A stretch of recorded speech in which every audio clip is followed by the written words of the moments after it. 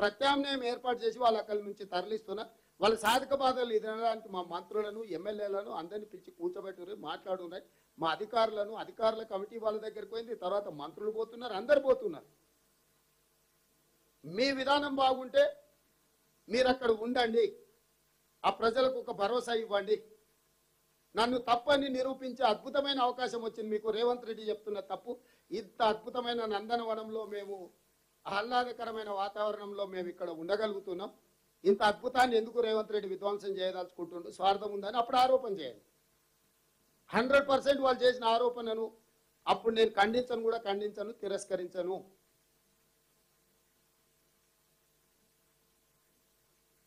నేను ఇంతకుముందు చెప్పినట్టు అన్ని నదుల పేర్లు ఆడబిడ్డలకు పెట్టుకున్నాం. ఒక గొప్ప కవి తెలంగాణలో మీకు తెలుసు కానీ పేరు నేను వేదిక మీద చెప్తే బాగుండదు కానీ ఒక బిడ్డ పేరు గంగ రెండో బిడ్డ పేరు యమున మూడో బిడ్డ పేరు సరస్వతి నాలుగో బిడ్డ పేరు కృష్ణవేణి. తెలంగాణ ప్రాంతానికి సంబంధించిన తెలంగాణ బిడ్డ గొప్ప కవి గాయకుడు ఒక అద్భుతమైన వ్యక్తి. నలుగురు కూతుర్లు ఆయన నలుగురు కూతుర్లకు గంగా యమున సరస్వతి కృష్ణవేణి అని పేరు పెట్టుకున్నాడు అంటే నదుల పేర్లు మన ఆడబిడ్డలకు పెట్టుకునే నదులను తల్లులుగా పూజించి నదులను పూజించే గొప్ప సంస్కృతి ఉన్న మనము మూసి పేరు ఎవ్వరు ఎందుకు పెట్టుకోలేని పరిస్థితి వచ్చింది? దీనికి కారణం పాలకులు కాదా? మీకు తెలిసిన దాంట్లల్లా శ్రీశైలం వాళ్ళ కూతురు పేరు కొడుకు పేరు పెట్టుకున్నాను వెనకాల నుంచి అది చెప్పాలని ట్రై చేస్తున్నాడు. జర్నలిస్టా సో అదే శ్రీశైలం అన్న కదా సర్నేం చెప్పలేదని. సో ఎందుకు పాపులర్గా ఎవరు ఒక్కరు కూడా ఈ పేరు పెట్టుకోలేని పరిస్థితి వచ్చింది? దీనికి కారణం ఏందని నేను అడుగుతున్నా. అంటే దీనికి మనం చేసిన ద్రోహము మూసీ నదికి మనం చేసిన ద్రోహం కారణం కాదా? పాలకులు చేసిన ద్రోహం కారణం కాదా? ఈ ద్రోహాన్ని కొనసాగిద్దామా? దేశ ద్రోహానికంటే పెద్ద నేరం ఇది. హిరోసిమా నాగసాకిలో పడ్డ అణుబాంబు కంటే అత్యంత ప్రమాదకరం మూసి ఆక్రమణ.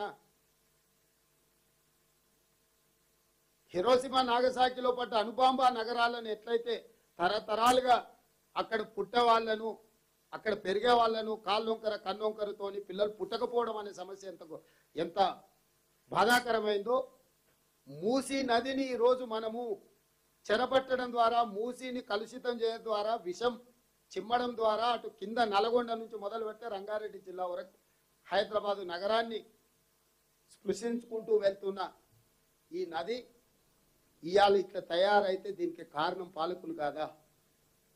అందులో మమ్మల్ని కూడా భాగస్వాములు చేసి ఆ నేరగాళ్ళ కింద మమ్మల్ని కూడా మార్చదలుచుకున్నారా మీరు? నేను సూటిగా అడుగుతున్న వీళ్ళందరినీ. చేసే ప్రాజెక్టు మంచిదైనప్పుడు మీరు ఈ ప్రాజెక్ట్ ఒకవేళ ఎస్ ఇది మంచిదే చేద్దామని ఒకవేళ మీరు అంటే అక్కడ అక్కడ ఉన్న వాళ్ళను తరలించడానికి అవసరమైన నష్టపరిహారం ప్రణాళికలు ఏం చేద్దామో రండి.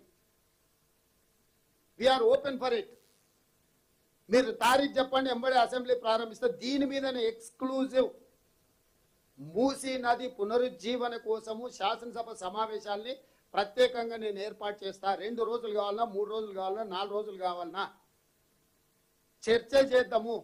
మీరు సూచనలు ఇవ్వండి. ప్రభుత్వం ఓపెన్ మైండ్తో ఉన్నది. ప్రభుత్వం సంపూర్ణంగా వాళ్ళని ఆదుకోవడానికి సిద్ధంగా ఉన్నది. ప్రభుత్వం వాళ్ళ మనసు గెలవాలని ప్రయత్నం చేస్తుంది. మనుషుల్ని కాదు మనసు కూడా ఆ మనుషుల యొక్క మనసును కూడా గెలవాలనేది మా ఆలోచన. ఏమి వాళ్ళకి మేలు చేద్దామో చెప్పండి. ప్రత్యామ్నాయంగా ఇల్లు ఇద్దామా ఉద్యోగం ఇద్దామా ఉపాధి ఇద్దామా? ప్రత్యామ్నాయంగా ప్లాట్లు ఇద్దామా నష్టపరిహారం ఇద్దామా? ఏ మిత్తమో మీరు చెప్పండి. ఇది మిత్తంగా నేను సూటిగా చంద్రశేఖరరావు గారికి ప్రధాన ప్రతిపక్ష నాయకుడికి అదేవిధంగా అత్యధిక ప్రాంతము కిషన్ రెడ్డి గారు సికింద్రాబాద్ పార్లమెంటు నియోజకవర్గంలో అదేవిధంగా చేవెళ్ళ పార్లమెంటు నియోజకవర్గంలో ఈటల రాజేందర్ గారి పార్లమెంట్ నియోజకవర్గంలో గతంలో మున్సిపల్ శాఖ మంత్రిగా పనిచేసిన తారక రామారావు గారికి. ఈ నలుగురిని నేను రాష్ట్ర ప్రభుత్వం నుంచి విజ్ఞప్తి చేస్తున్నా ఇది సవాలు కాదు. ఒక మంచి కార్యక్రమం తీసుకుందాం ఎప్పుడు శాసనసభ పెట్టి. అవసరం అంటే నేను చట్టాలను ఒకసారి చూస్తా. స్పెషల్ కేసు కింద ఈ ఎంపీలను కూడా అసెంబ్లీలో వచ్చి మాట్లాడడానికి మనం ఎక్స్పర్ట్స్ని పిలుచుకోవడానికి ఒక ప్రొవిజన్ ఉన్నది. శాసనసభలో అప్పుడప్పుడు లీగల్ ఒపీనియన్స్ కలెక్ట్ చేయాలనుకున్నప్పుడు అడ్వకేట్ జనరల్ పిలవడానికి ఒక ప్రొవిజన్ ఉంది. ఎక్స్పర్ట్స్ ఒపీనియన్ తీసుకోవడానికి కూడా సమ్ ప్రొవిజన్ ఉందని నేను విన్నా న్యాయ నిపుణులు చెప్పంగా. నేను ఒకసారి న్యాయ నిపుణులను కూడా సంప్రదిస్తా. ఈ ప్రాంత ప్రజాప్రతినిధులైన పార్లమెంట్ సభ్యులు ఎవరైతే ఉన్నారో వాళ్ళని కూడా ప్రత్యేక ఎంక్లోజర్ పెట్టి సభలో వాళ్ళు ఏమైనా చెప్పదలుచుకుంటే కూడా దాన్ని కూడా రికార్డు తీసుకొద్దాము. ఒక పాజిటివ్ అప్రోచ్ తీసుకొని రండి. ఈ పాజిటివ్ అప్రోచ్ పేదలకు మేలు జరగాలి రాష్ట్రం అభివృద్ధి చెందాలి. పేదలకు మేలు జరిగే విధంగా రాష్ట్రాన్ని అభివృద్ధి చేసుకునే విధంగా ప్రపంచంతో పోటీ పడే విధంగా మన నగరాన్ని ఎట్లా ముందుకు తీసుకెళ్తామో మీరు సూచన చేయండి. చర్చ చేద్దాం డిబేట్ చేద్దాం. ఎస్ మీరు ఇచ్చిన ప్రతిపాదనల సాధ్య అసాధ్యాలను ప్రభుత్వం వైపు నుంచి మేము వివరించి చెప్తాము. మీకేం అనుమానాలు ఉన్నాయో రండి తీసుకొని రండి. మీరు అఫీషియల్గా నోట్ పంపండి మీకు ఏమేమి అనుమానాలు ఉన్నాయో. ఆ అన్నిటికీ మేము వివరణ ఇస్తాము. ప్రభుత్వం సిద్ధంగా ఉంది. మీ అనుమానాలు అన్నిటిని క్వశ్చన్ బ్యాంక్ కింద నాకు పంపండి. నేను టీఆర్ఎస్ పార్టీకి బీజేపీ పార్టీకి ఎంఐఎం పార్టీకి మూడు రాజకీయ పార్టీలు ప్రధానమైన పాత్ర పోషిస్తున్న ఈ నగరంలో. మూడు రాజకీయ పార్టీల ప్రెసిడెంట్లకు నేను సూచన చేస్తున్నా విజ్ఞప్తి చేస్తున్నా. ఎంఐఎం పార్టీ అధ్యక్షుడు అసదుద్దీన్ ఓవైసీ గారికి భారతీయ జనతా పార్టీ అధ్యక్షుడు కిషన్ రెడ్డి గారికి బీఆర్ఎస్ అధ్యక్షుడు కల్వకుంట్ల చంద్రశేఖరరావు గారికి ముగ్గురికి నేను విజ్ఞప్తి చేస్తున్నా. ఈ మూసీ నది పునరుజ్జీవింప కార్యక్రమంలో మీకున్న అనుమానాలను ప్రశ్నల రూపంలో నాకు పంపండి. ప్రతి ప్రశ్నకు ప్రభుత్వం యొక్క విధానాన్ని వివరణతో కూడుకున్న రిటర్న్ రిప్లై నేను పంపిస్తా. మీరు సంతృప్తి చెందకపోతే శాసనసభ సమావేశాన్ని ఏర్పాటు చేస్తా. ప్రత్యేక సమావేశాలు ఏర్పాటు చేస్తా. నేను ఎంబడే వెళ్ళి గవర్నర్ను కలిసి శాసనసభ సమావేశాన్ని ఏర్పాటు చేయడానికి అనుమతి ఇవ్వమని నేను అడుగుతా. ఒక్క రోజు కూడా వృధా చేసుకున్నా మనకు తీరని నష్టము. అక్కడ ఉండే పేదలకు భరించరాని కష్టము. ఈ శనివారం లోపల మీరు నాకు టైం టేబుల్ ఫిక్స్ చేసి ఇవ్వండి. ఈ డేట్ లోపల కొ- మీరు క్వశ్చన్లు పంపండి. ఈ డేట్ లోపల మేము రిప్లై చేస్తాం. ఆ తర్వాత శాసనసభ పెడతాం. ఒక ఒక యాక్షన్ ప్లాన్ మీరే ఇవ్వండి. నేను నేను నేను ఇవ్వను. నేను ఓపెన్ ఆఫర్ చేస్తున్నా. మూడు ప్రధానమైన రాజకీయ పార్టీలకు అదేవిధంగా నల్గొండ జిల్లా ఇతర ప్రాంతాల్లో ఉన్న కమ్యూనిస్టు పార్టీలను కూడా నేను రిక్వెస్ట్ చేస్తున్నా. ఇది చెయ్యాలనా వద్దా? అక్కడ ఉన్న వాళ్ళకు మంచి భవిష్యత్తుని ఇద్దామా వద్దా?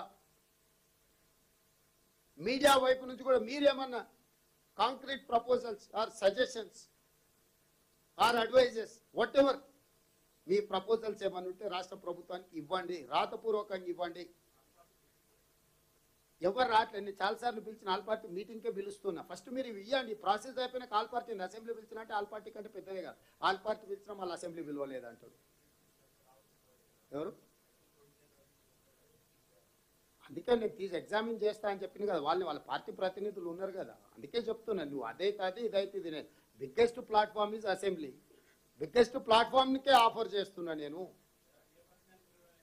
So before the questions one small clarification my mistake once again sir చిన్న తప్పు అయిన నా వల్ల. మీకు నేను బ్రీఫింగ్ ఇస్తున్నప్పుడు ఈ మెయిన్ హార్ట్ గురించి this purely my mistake I'm very sorry Statue of Unity Gujarat ప్రాజెక్ట్తో పాటు స్టాచ్యూ ఆఫ్ వన్నెస్ అనే ఈ ప్రాజెక్టు ఇందులో you can see the statue standing ఇది మధ్యప్రదేశ్ది మన దగ్గర ఉన్నది స్టాచ్యూ ఆఫ్ ఈక్వాలిటీ కూర్చుని ఉంటారు. సో అది నా తప్పు వల్ల మీకు సరే సర్లే. దాని గురించి ఇప్పుడు మళ్ళీ నేను చెప్పినాక మీ అందరి ప్రశ్నలకి ఇచ్చేస్తాం సో నేను ఇప్పుడు సింపుల్గా మిమ్మల్ని మిమ్మల్ని మిమ్మల్ని ఇప్పుడు మిమ్మల్ని మిమ్మల్ని కూడా మీరు అడిగే ప్రశ్నలు కూడా మీరు ఆలోచన చేసి ఈ ప్రాజెక్టును ముందుకు వెళ్ళాలన్నా వద్దా?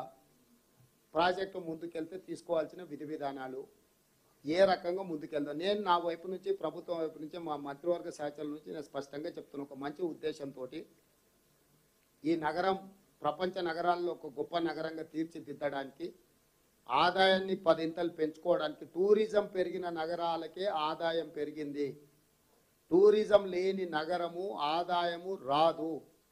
ఆదాయం రాకపోతే పేదలకు సంక్షేమ పథకాలు అమలు చెయ్యలేము. ఈరోజు చాలామంది మన వాళ్ళు జైపూర్ పోయేస్తాం మైసూర్ పోయేస్తాం లేకపోతే ఇంకొకటి పోయేస్తాం పిల్లల్ని తీసుకొని ఎడకాలం వస్తే. ఇట్లాంటివి ఎందుకు? అవన్నీ హెరిటేజ్ సిటీలు కాబట్టి. మన దగ్గర ఉన్న మన సంస్కృతిని మన సాంప్రదాయాలను మన మన పూర్వీకులు మనకి ఇచ్చిన ఈ సంపదని మనం ఎందుకు కాపాడుకోలేకపోతున్నాం? కాడుకో కాపాడుకోవాలన్న ఆలోచన ఈ ఉద్దేశం సదుద్దేశం కాదా? ఏంది? కాబట్టి మీడియా మిత్రులారా ఈరోజు నేను ఓపెన్ మైండ్తోని నేను పబ్లిక్ ఆఫర్ చేస్తున్న రాజకీయ పార్టీలకు ప్రధానంగా అసెంబ్లీలో రిప్రజెంట్ చేస్తున్న వాళ్ళకు. రకరకాల సూచనలునే సూచనలన్నీ రాతపూర్వకంగా పెట్టండి. నేను ఎవరితోనే ఆర్గ్యుమెంట్ చేయడానికి ప్ర- ప్రెస్ మీట్ పెట్టలేదు. ప్రభుత్వం వైపు నుంచి విధానం చెప్పదలుచుకున్నాను. మూసి నది పునరుజ్జీవన కార్యక్రమాన్ని తీసుకోవాలని ప్రభుత్వం బలంగా నమ్ముతుంది. ఆ తీసుకునే క్రమంలో పేదలకు వచ్చే కష్టం కానీ నష్టాన్ని కానీ హక్కున చేర్చుకొని వాళ్ళని అన్ని రకాలుగా ఆదుకోవాలన్నది మా ఆలోచన. దానికి సంప్రదింపులే ఏకైక మార్గము. ఎంత పెద్ద సమస్యకైనా సంప్రదింపుల ద్వారా పరిష్కారం దొరుకుతుందని బలంగా నమ్మే పార్టీ నుంచి ప్రతినిధిగా నేనున్నా. ఆ సంప్రదింపులను మొదలు పెడతాము. ఎట్లా మొదలు పెడతాము మీరు చెప్పండి. షెడ్యూల్ వేసి ఇవ్వండి. అంటే కార్యాచరణను ప్రతిపక్షాలనే అడుగుతున్నా ముఖ్యంగా. MIM BJP